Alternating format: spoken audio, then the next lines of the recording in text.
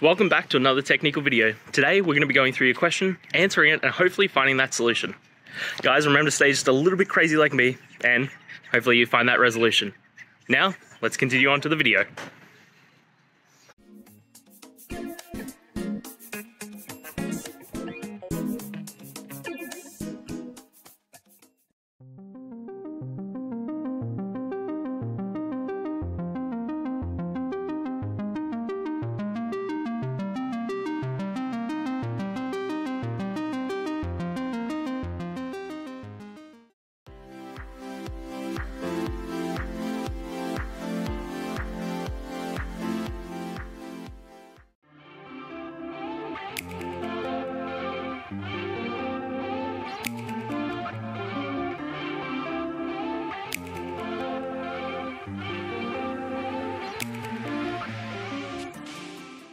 I hope that's found the resolution that you're looking for and you managed to work your way through your issue.